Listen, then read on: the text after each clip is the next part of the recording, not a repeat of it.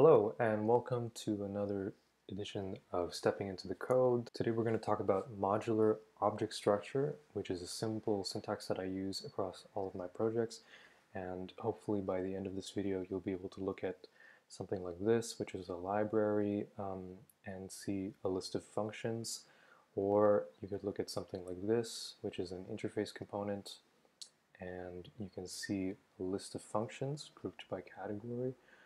Or you can look at something like this, which is an app, and yet it's still a list of functions uh, grouped by category. If you want to understand more about the distinction that I make between library, component, and app, look at the previous video on universal project folder structure. I'm going to be using JavaScript in all of these examples here because that's what I work with primarily, but I have used the same pattern in Ruby on Rails and also Objective-C, so many of these things are hopefully language agnostic. So there's a couple things that I think are worth observing throughout this presentation. I'm going to be talking about a lot of different things, but there's kind of three things that you can anchor yourself to.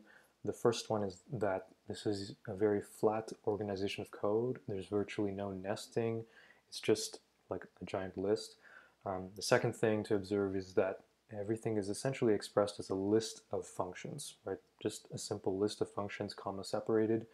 The third thing, we're using a very simple syntax, so you're probably going to understand that fairly quickly, but try to see how that simple syntax is being used to organize the code in different ways. So let's try and create an example of this simple syntax from scratch. Uh, you can see I've set up here uh, what I call a fiddle, which is essentially I'm going to type some code and then when I save the file, you're going to see some output in the terminal. Uh, this is just to help visualize what's going on. It's not necessary to understand the rest of the presentation. So just as an example, I'm going to type in console, whoop, cons, geez. I'm going to type in console log and I'm going to say hello and here on the left side in the terminal you'll see hello. Um, so try and look between the two places. So uh, what's the syntax? For example, uh, the way I usually do this is I make a new variable and I call it mod, which is short for module, and I set that variable to a JSON object. And that's going to be our house for everything. Um, so what, how you usually do this is you have something like alpha and then bravo. That's the syntax of a JSON object. And I can log that um, just to see what's there. So there's an object with alpha bravo. Um, in JavaScript, you can do something like this, where you go Charlie is a function that um, maybe it takes some input and it does something with that input. So I'm just going to log the input. Um, maybe I'm going to add a, an exclamation mark.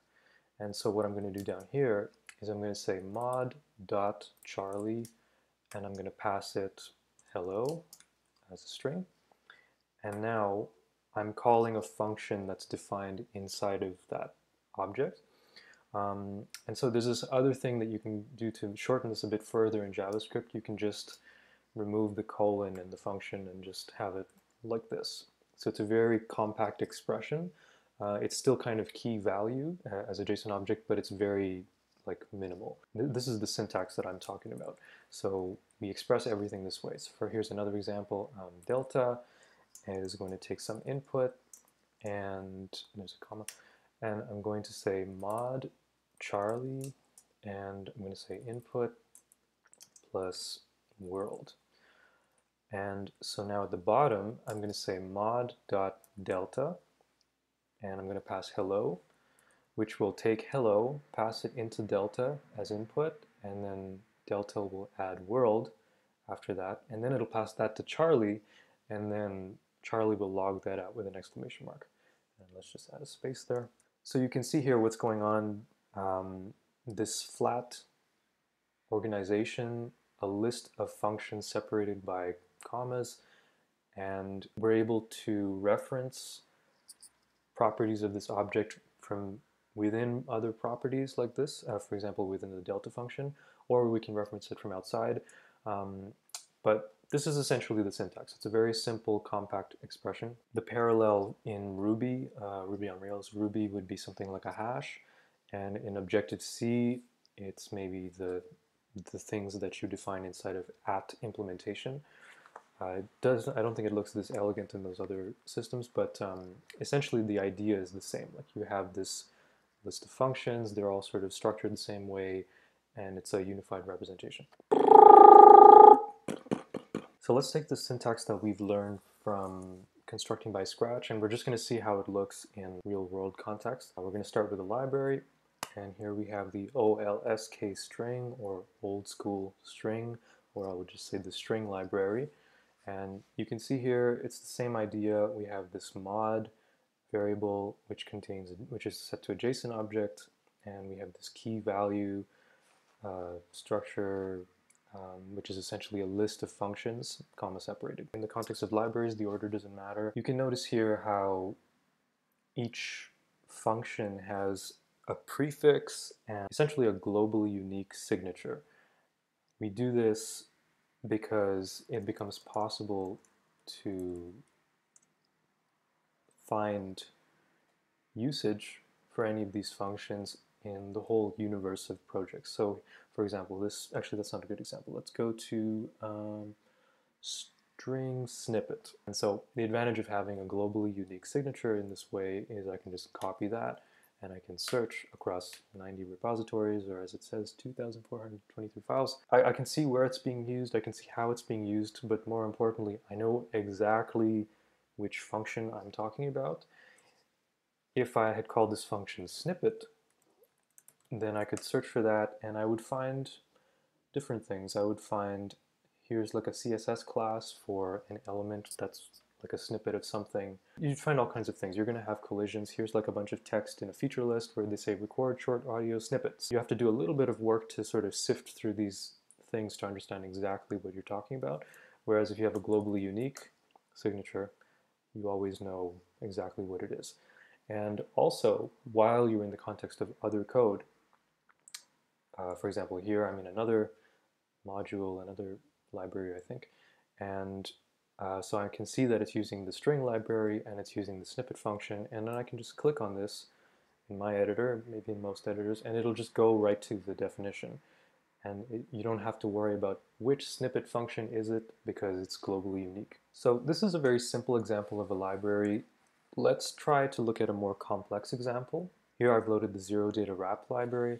This is for integrating an app with the remote storage protocol or the fission protocol with the same API. You can see here this is really long, it's about 1200 lines long, but it's essentially just a list of functions comma separated. You can see each function has a unique signature, globally unique signature, and I can open any of these up and it's, they might be really big functions, but the structure, the syntax that we're using to organize the code is essentially the same as uh, the, the, the, previous example. I might point out here that the order of these functions is roughly trying to be in order of invocation. For example, this object validation function, which you never call directly. It has an underscore, which means you don't really uh, invoke this directly. So it's going to be called by other things. So we put this one at the top, and then that thing will be referenced by something below it. This is a very rough guiding principle, but it's not it's not something very strict. So that's basically libraries. Uh, again, just to reiterate, list of functions, comma separated. We'll repeat this numerous times throughout the presentation just to make that super clear. that there's a fundamental similarity between all of these examples and it's also just very simple. Let's move on to components. So here's OLSK install. Just before I explain this actually in uh, both the previous videos I've made this distinction between system A and system B. If you want more information, check the previous video in the link below. So seeing as system A has no JavaScript events, it's just rendering something statically. We're not going to be looking at system A components because there's no events. We're only going to be looking at system B. Because system B components are dynamic, they're event-based, they're responding to clicks and things like this, we're going to not just put them all together in a single list of functions. I mean, it is a list of functions, but we're going to group them in categories, sections, to aid with organization and also, again, to make it easier to know where to look if you're trying to understand um, what's going on, if you're trying to make a change. So in this example, we can see our mod here with a JSON object, and we got some keys and values, and we have this shortcut to representing functions. and we have some different sections, value, interface control, and lifecycle.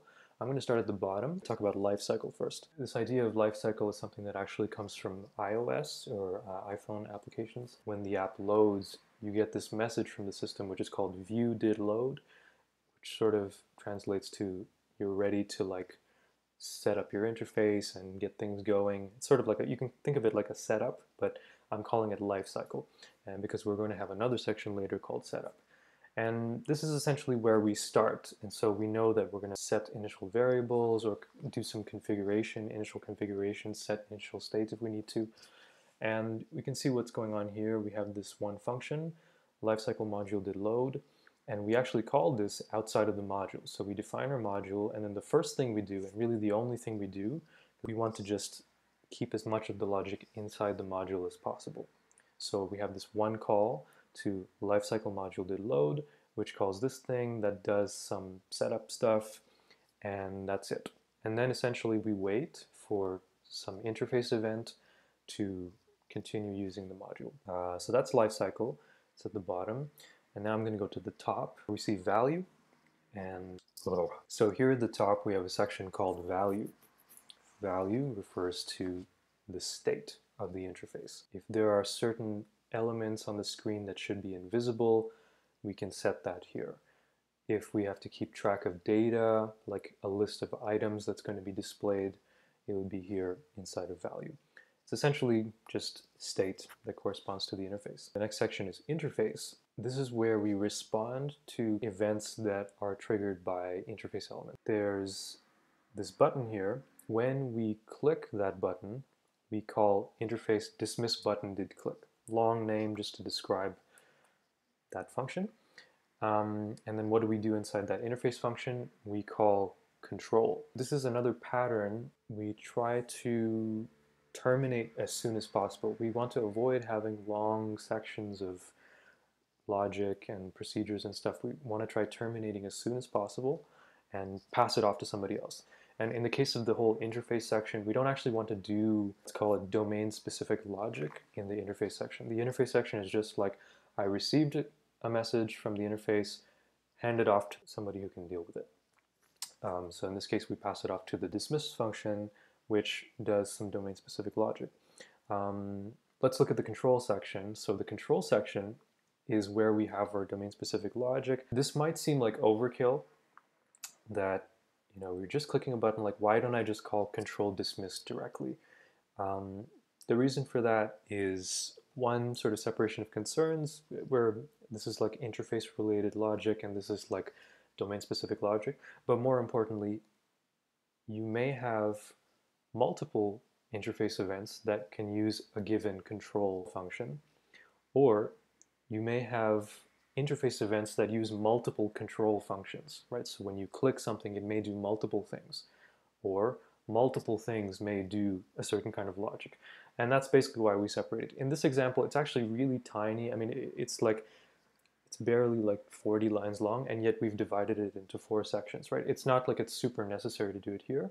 It's a paradigm that I use in the apps, which are enormous, and so I just try to be consistent and I do it even in the smaller ones because we start small and we tend to expand as things get more complex. So it's just good practice. So this is a kind of a simple example for components. Let's look at a more complex example. Okay, so here's OLSK catalog. We have a variable called mod. We set to it a JSON object. It's got a bunch of key values. Most of them are functions separated by commas. And because it's an interface component that's event-driven, we separate it into these different categories. This is larger than the previous example. It's fairly complex. There's maybe a couple hundred lines going on here.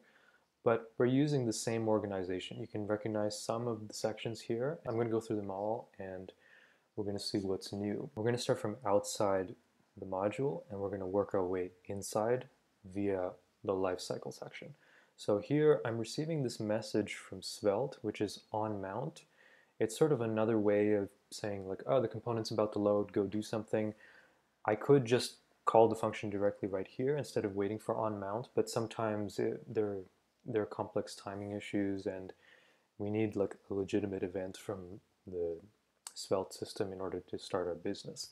So basically I received this callback from Svelte saying the module is ready to mount And then I call my method, which is in the life cycle, life cycle section, and it's called the lifecycle module will mount. Now we're inside the module.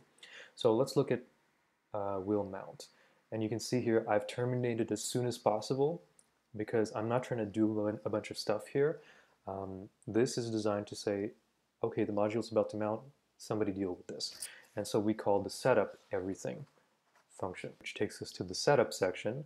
And this is another pattern like usually when you're setting up an app or an interface, when you're initializing, you're going to have to like set some interface state or load objects or load variables or set whatever kind of setup. So I have this thing called setup everything, which as you can guess, it calls all of the other setup methods. Later on, I'm going to show you a way to even optimize this further so we don't have to have uh, setup everything.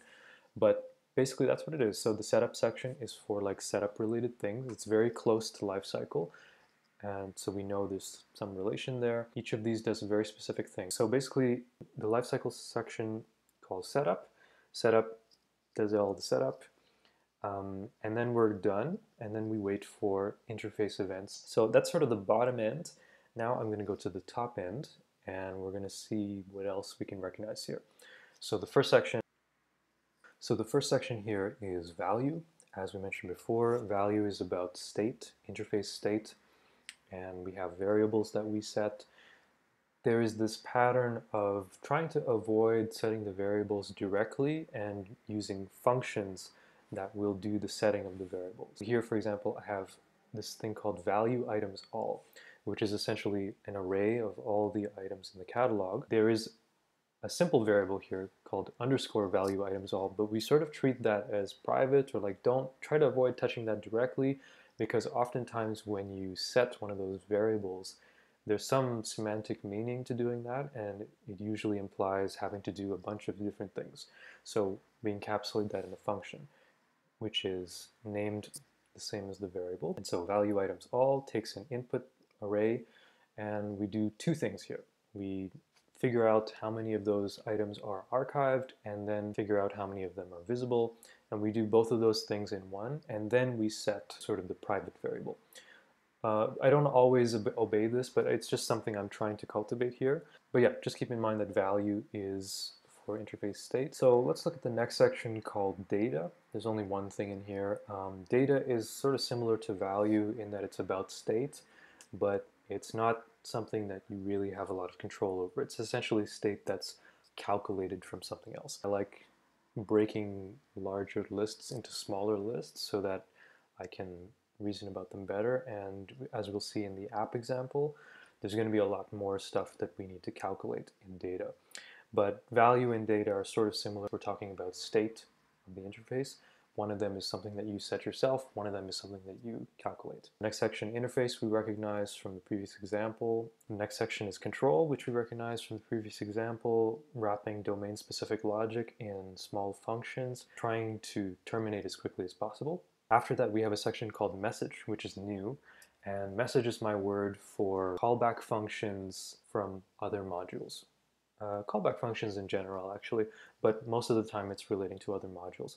And you can see that I, I usually prefix the callback functions from the other modules. So I know that this callback function has to do with the OLSK narrow module. I know that this one has to do with OLSK collection. And so it sort of sorts itself because of the prefixes.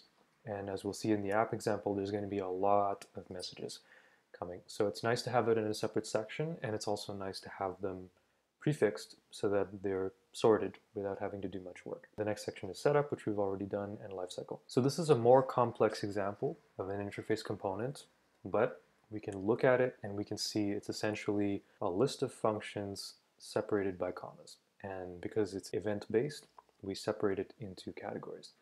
Let's jump into an app. So I'm going to use an example here of Hyperdraft and we're going to go to the app folder, the right folder, and we're going to load up main.svelte, which is a massive file. And let's collapse or fold level 2. Again, we have a variable called mod that is set to a JSON object, and there's a bunch of key value stuff in here. There's a lot of functions separated by commas, and we've separated into a bunch of different sections to aid with organization and helping make things easy to find.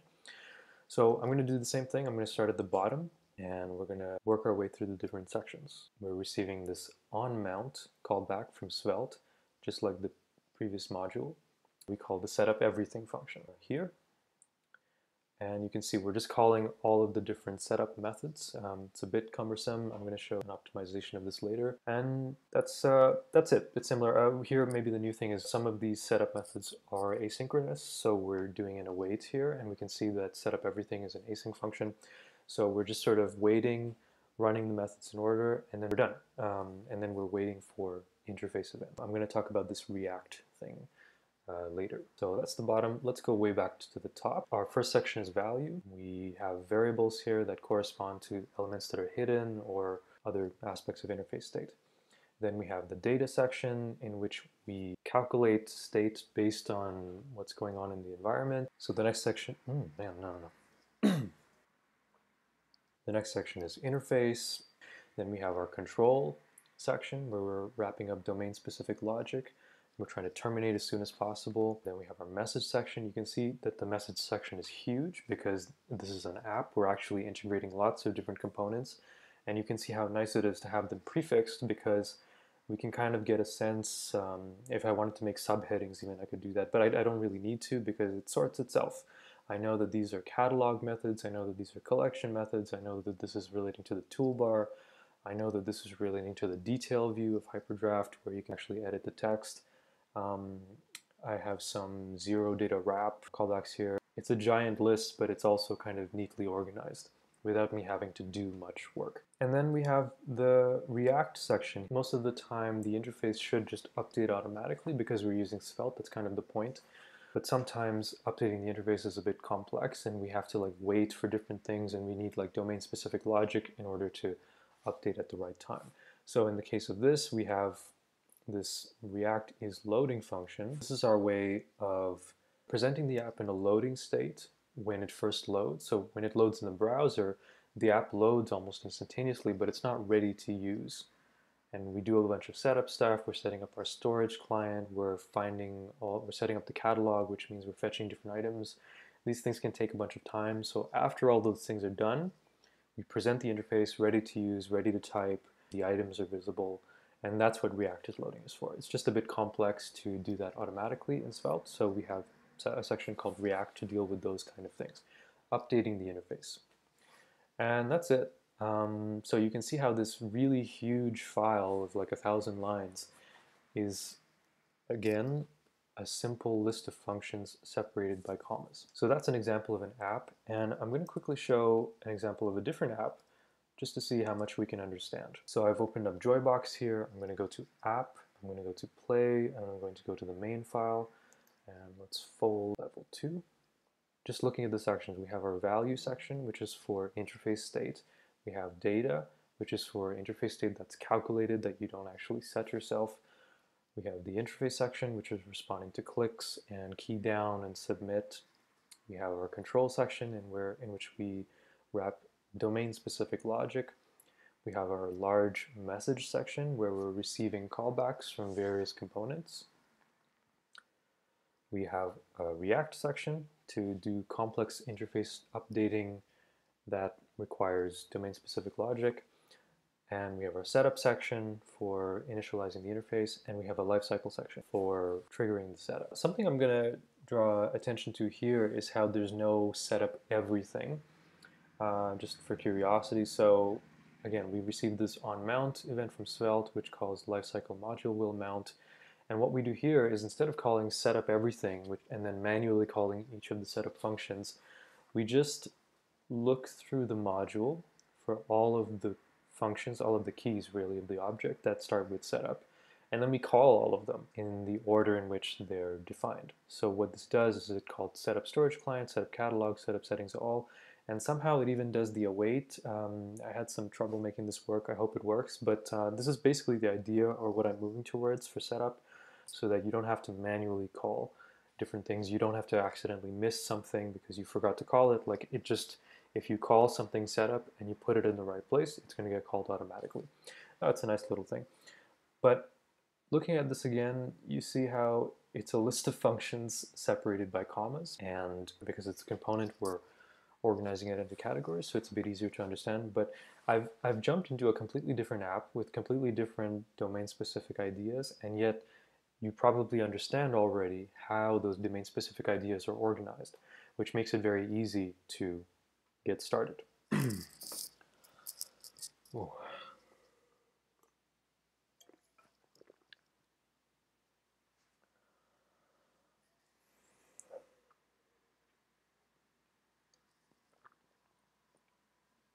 So, quick recap of everything we talked about. We're using a modular object structure to organize code similarly across all projects.